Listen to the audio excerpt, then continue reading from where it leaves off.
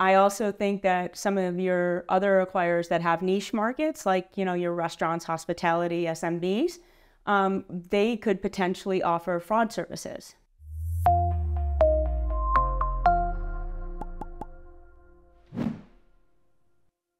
Thank you so much for, for joining me here today. Really excited to talk to you about the merchant acquirer market, especially in North America. What can merchant acquirers do to try and help offset some of those low low margins?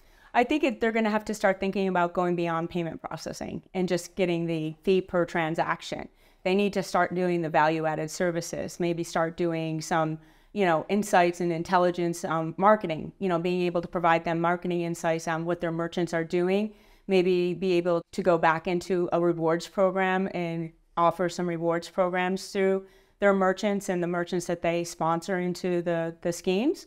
So that might be uh, some areas that they can do. I also think that some of your other acquirers that have niche markets, like you know your restaurants, hospitality, SMBs, um, they could potentially offer fraud services. You maybe expand that area in the organization and maybe build up a consulting side of from a fraud perspective. I guess if we look at Brazil, we've seen Pix and instant payments kind of come out. We've seen it a little bit more in in, in Europe now.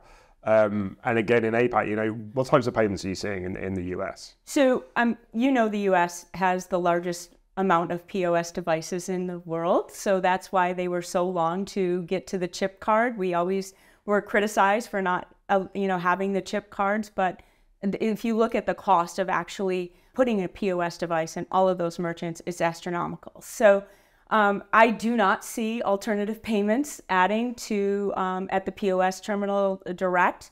Uh, you might see it definitely online. You're seeing the BNPLs, the buy now, pay later options, but they're partnering with third parties to allow that activity to take place. I can see that happening it'll be interesting to see if account to account payments like your Venmos or your PayPal's um, and wallets, will there be some options within the wallets um, at the merchants, you know, for the acquirers?